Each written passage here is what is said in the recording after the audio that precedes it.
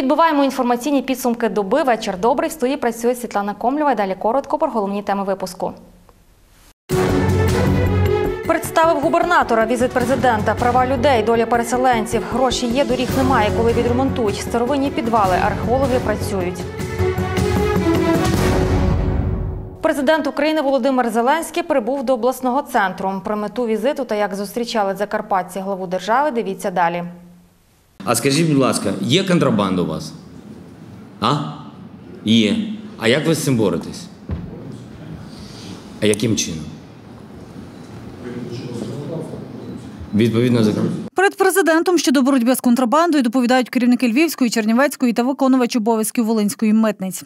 Кількість справ про порушення правил цього року впала за рахунок того, що е, в листопаді е, 2018 року були прийняті закони 2611 2012 які регулювали митно-охоронні європляк.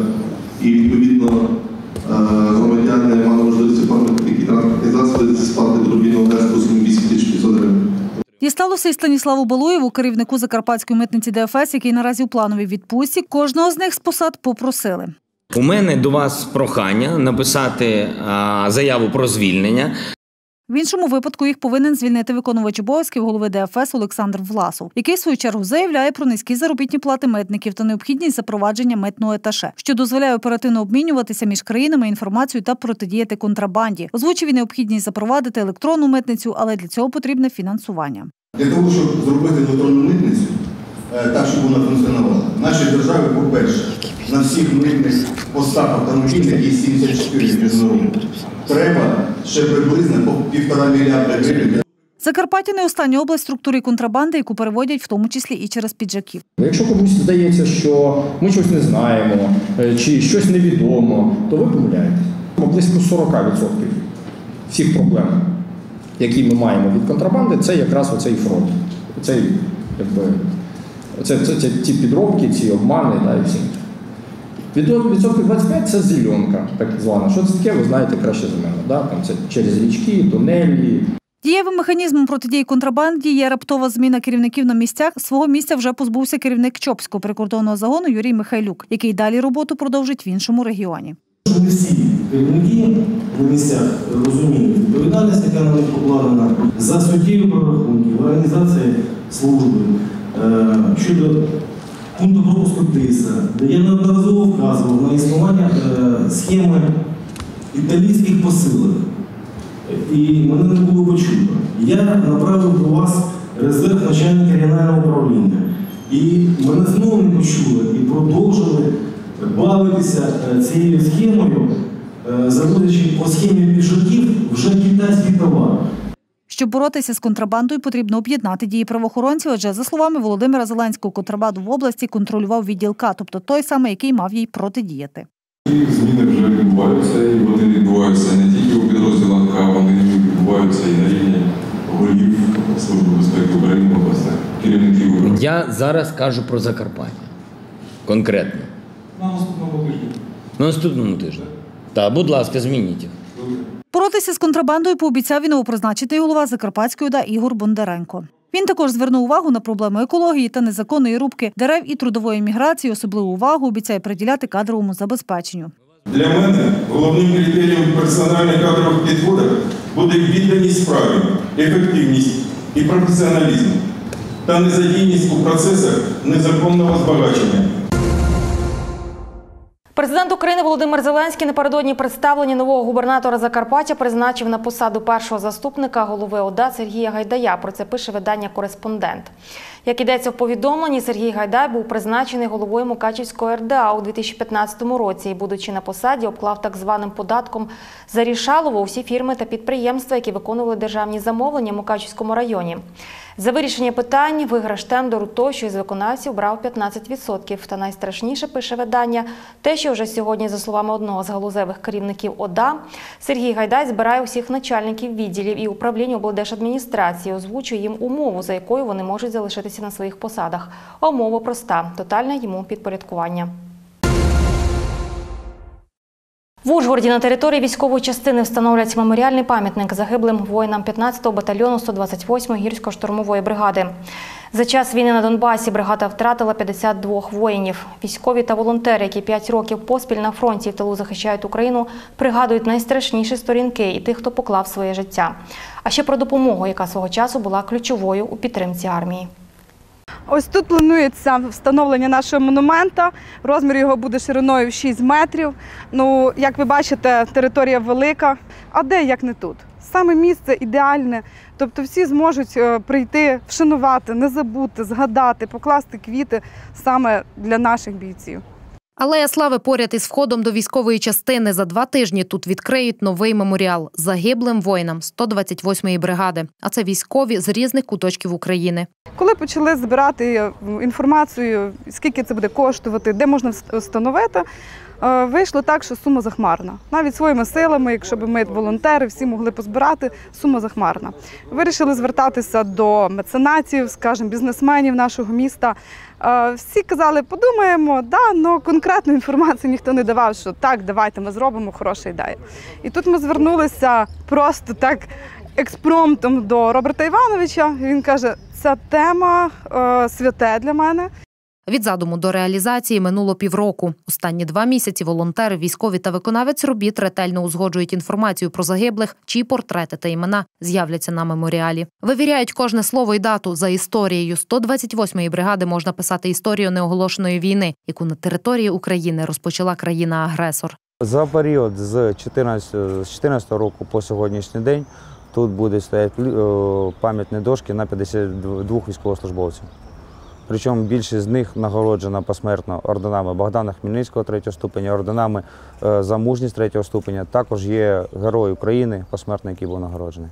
Дебальцево, що за півтора тисячі кілометрів від Закарпаття, це і сторінка життя Антона Гайтанжи. Це тепер Антон у цивільному і може спокійно розповідати про свої будні. Після складної травми в Дебальцевому в лютому 2015-го чоловік ще три роки відпрацював у штабних умовах і, зрештою, залишив муштру після 14 років військової служби. Ми спочатку не знали, як це комусь сказати, що нам чогось не вистачає. У нас не вистачало стільки, що я не знав, що сказати. У мене такий список був, що мені там весь, весь транспорт, який е, їздив, він поїхав раніше на восток. Тут залишилось е, такі машини, котрі стоять там по 30 років.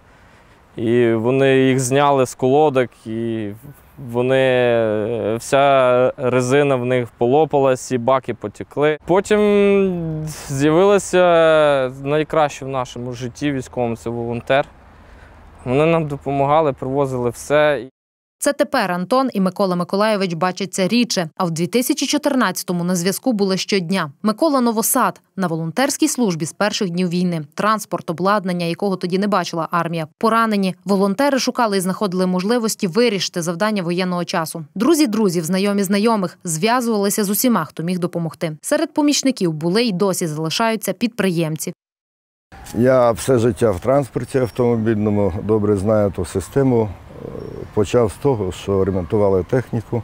Взагалі щоденно було роботи, особливо 14-15 рік. Е, До Роберта Горвата я звернувся через моїх друзів Трутнєвих, які сказали, що патріотична людина. І перші там 27 тисяч, по-моєму, в квітні 2014 року він перерахував на запасні частини, а далі купував термобілизну, на ремонт казарми, матеріали. Взагалі за всіх 5 років війни Горват не було жодного року, щоб чогось не по першому дзвонку він відразу дав команду, перерахували гроші, передзвітувались перед ними, перед бізнесом і рішав на місці. Це людина, яка більше запчастей нам дала, ніж всі інші. Тому що коли приходив список, то Роберт Горвард нам давав половину, а іншу половину десь ділилось на чоловік 10 інших підприємців. Він надавав дуже велику допомогу. Коли почалася війна, і коли він, він з перших людей, котрий прийшов на допомогу, це дуже великий плюс для людини. Меморіал пам'яті на території військової частини по вулиці Другетів в Ужгороді відкриють вже всередині липня. Конкретну дату і час організатори оприлюднять публічно і запрошують кожного вшанувати пам'ять полеглих. І головне пам'ятати, війна не завершена. Партія Батьківщина за обов'язкове медичне страхування і проти закриття лікарень. Партією зареєстровано законопроект номер 9163 про фінансування охорони здоров'я та загальнообов'язкове медичне страхування в Україні. Прийняття і запуск його у дію дасть змогу залучати у галузь додатково понад 220 мільярдів гривень щороку. Передбачається, що більшу частку медичної страховки сплачуватиме роботодавець, який натомість платитиме менше податків. Саме тому закон про медичне страхування треба ухвалювати одночасно з податковим кодексом. На прикладі ж медичної реформи бачимо, як помилкова модель та непрофесійні дії ведуть до скорочення кількості лікарень, звільнення лікарів, виїзду найкращих медиків за кордон, неможливості пацієнтів отримати вчасну та якісну медичну допомогу.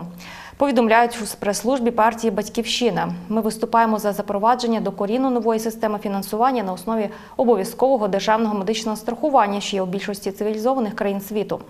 Вона дає можливість тим, хто працює, отримувати страховку від роботодавців, а тим, хто не працює, пенсіонерам, неповнолітнім безробітнім страховку коштом держави. На Ужгородщині автівка збила насмерть 11-річну дівчинку. Правоохоронці Ужгородського районного відділення поліції встановлюють обставини смертельної автопригоди у селі Мала Добрань. В результаті аварії загинула неповнолітня дівчинка. 5 липня близько 19-ї години на лінію 102 надійшло повідомлення про ДТП. Як з'ясували слідчі, водій автомобілю марки Міцубіші, рухаючись по вулиці Головній в селі Мала Добрань у напрямку Мукачева, не впорався з керуванням та з'їхав у кювет, де здійснив наїзд на дівчинку, яка там гралася. Від отриманих травм дитина, місцева мешканка, загинула на місці події. За кермом автомобіля перебував 35-річний мешканець села Червоне. Водій керував машиною у стані алкогольного сп'яніння. Ще одне смертельне ДТП трапилось учора о пів на 12 ночі на Хущині. 19-річний житель села Сокирниця на відрізку дороги між населеними пунктами Хуст-Боронєво здійснив наїзд на пішохода. Зі слів водія, той несподівано вийшов на проїжджу частину. Від отриманих травм потерпілий 55-річний мешканець села Боронєво помер на місці аварії. Гроші є, доріг нема. Ще в червні минулого року Мукачівська міська рада розіграла три тендери на суму 9 мільйонів 700 тисяч гривень на капітальний ремонт трьох вулиць – Музорського, Римського, Корсакова та Чендея. Час пройшов, ремонт уже мали завершити, та дорожнього полотна там і досі нема. Дорога, якою пішки пройти складно. Саме так описують жителі Мукачева вулиці, які, здається, ремонту не бачили ніколи. Мова йде про вулиці Мусорського, Римського, Корсикова та Чендея. Люди кажуть, влітку тут від пилюки немає чим дихати, а в дощовий період страшно вийти з будинку, адже дороги повністю вкриті калюжами. І от надія з'явилася у серпні 2018 року. Мукачівська міська рада розіграла три тендери на капітальний ремонт цих вулиць. Однак гроші виділили, а доріг і досі нема. Дорога просто кошмарна. Їздити невозможно, навіть пішком ходити, а особливо коли дощ падає, тут болото, можна лодки брати. Загальна вартість торгів склала біля 10 мільйонів гривень. Всі тендери виграла івано-франківська фірма Технобудцентр. І згідно укладеного договору, роботи мали бути вже завершені. Це вже не перший випадок, коли в місті роботи з благоустрою е, не здійснюються в ті терміни, які викладені в договору. Тобто бачимо таку негативну тенденцію по цілому місті. І причому, що ці е, ну, е, неукладки в ці терміни здійснюються різними підрядними організаціями з різних міст України. Тому я думаю, що причину треба шукати не в самих підрядчиках, причину треба шукати в ратуші, в тих відділах, які виступають замовниками цих робіт, в тих відділах, які є контролюючими органами, які здійснюють оплати, перевіряють акти виконаних робіт і здійснюють чи відповідають роботи згідно графіку. Люди кажуть, ремонтники і справді інколи з'являлися, робили вигляд, що працюють, потім знову безслідно зникали. Результат їхніх старань видно неозброєним оком. Пересуватися дуже важко, тому що ну, дітей потрібно на руках нести, якщо або на велосипеді, або так дитині незручно. Ну, тобто дуже добре, щоб зробили, бачу, почали робити, лише досить довго вже роблять. Це дійсно було здійснено заміну е, водопровідних мереж, тому що ці роботи включали не лише укладку дорожнього полотна, вони включали капітальний вулиці із заміною водопровідних е, мереж. Е, Дійсно, почалось в минулому році е, осінню масштабні роботи. Частина вулиці е, все ж таки була завершена, е, укладене дорожнє полотно, але зараз бачимо, роботи не відбуваються. Жителі Мукачева обурюються, чому вулиці, які справді мають важливе стратегічне значення для міста, і досі не відремонтовані. У той час, як славнозвісна дорога до Сільверленда вже майже завершена. Варто додати на вулиці Мусорського розміщений дитячий садочок номер 20, станція швидкої допомоги. І саме цією дорогою, оминаючи затори, можна безперешкодно дістатися до залізничного вокзалу. А от у Виноградові жителі вулиці Чкалова перекрили рух дорогою, засипавши проїжджу частину купами гравію. Як раніше повідомляла Виноградівська міська рада, для тимчасового вирішення проблеми проїзду через дану ділянку дороги буде здійснено засипку вибоїн матеріалами від фрезерування асфальтобетонного покриття на інших дорогах, що дещо повинно зняти напруження. Це тимчасове вирішення питання проїзду через вулицю Чкалово йдеться в повідомленні міськради. Однак таке рішення з обуренням сприйняли мешканці вулиці, тож люди вирішили перекрити дорогу. Наслідки зливи. Закарпатці викладають в соцмережі фото та відео підтоплених на Закарпатті доріг. Як і прогнозували синоптики, Закарпаттям під вечір п'ятниці пройшли дощі. Десь опади були незначні, а от у Великому Березному підтопило вулиці. Як виглядає після зливи вулиця Гожика, у Великому Березному показали користувачі соцмережі Фейсбук. У Мукачеві невідомі зловмисники поламали молоді дерева. Фото акту вандалізму оприлюднили в соцмережі Фейсбук. Користувачі мережі обурені, просять несвідомих громадян схаменутись. У акті ж вандалізму звинувачують осіб громської національності. Зберегти боржаву. На горі Гимба відбулася акція у підтримку боржавських полонин. Активісти вимагають не допустити забудову полонин вітроелектростанціями. Кажуть, будівництво ВЕС на полонині Боржава несе загрозу унікальній природі полонин, а також загрожує розвитку туризму і спорту в цьому регіоні. Ми тут, кажуть активісти, щоб висловити свою незгоду з планами будівництва та закликати відповідальних осіб діяти на захист природи України і не допустити будівництво вітряків на полонині Боржава. Також учасники розгорнули великий банер з написами Сейф Боржава та зняли це з висоти пташиного польоту, також землі на фоні впізнаваних вершин Боржавської полонини Стій та Великий Верх. Мільйон двісті тисяч українців були змушені тікати з власних домівок через збройний конфлікт з Росією на сході України. І це ще не остаточні дані. Про це заявила регіональний представник уповноваженого Верховної Ради України з прав людини в Закарпатській області Діана Швардак під час своєї доповіді. Говорили і про доступ до інформації, вибори та переселенців. Тож як вирішують проблеми громадян, дивіться далі у сюжеті. Порушення вимог громадян та доступу до інформації, ще захист персональних даних з такими проблемами найбільше звертаються до уповноваженого з прав людини жителі Закарпаття, як розповідає Діана Швардак. На заяви реагують та подають відповідні скарги до судів. Органів місцевого самоврядування не, наприклад, не публікують інформацію, яка повинна бути згідно вимог на офіційних вебсайтах. Це є перша причина. Або не дають відповіді на запит. Зрозуміло, ми тоді відкриваємо провадження, складаємо адмінпротокол і направляємо до суду. Попереду парламентські вибори 21 липня також буде комісія, яка спостерігатиме за дотриманням прав громадян. Адже минулого разу на спецдільниці в наркодиспансері виявили одне порушення.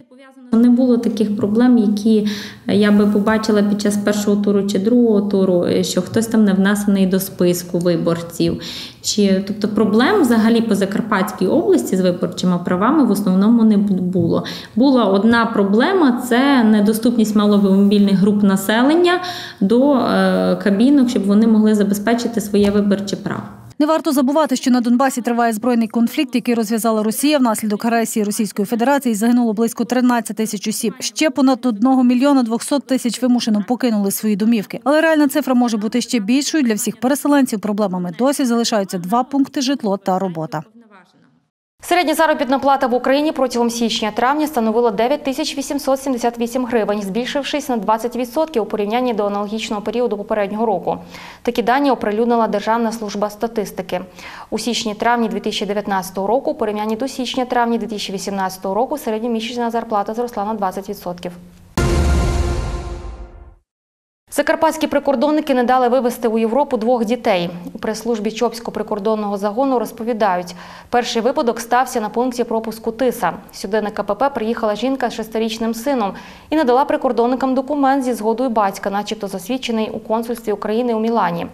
При ретельній перевірці прикордонники побачили, що заяву підроблено. Про це свідчили певні ознаки: відмінність зображення герба від того, який використовується в офіційному обігу, невідповідність підписа консульського агентства тощо. Вже через годину був ще один випадок. Цього разу на виїзд з України разом з 13-річною дівчинкою прямував 37-річний житель Буковинець. Під час перевірки наданих на контроль документів прикордонники встановили, що заяву матері на виїзд дитини було отримано незаконним шляхом. Документ містив підроблену печатку Генконсульства України в Мілані та навіть орфографічні помилки. Укрзалізниця влітку перевозить близько 141 тисячі пасажирів щодня, що більше на 20% в порівнянні з весною. Про це повідомив голова правління компанії Євген Кравцов. На період пікових літніх перевезень додатково призначені 32 поїзди. Таким чином, зараз по території країни щодня курсують 147 поїздів. Йдеться в повідомленні прес-служби Укрзалізниці.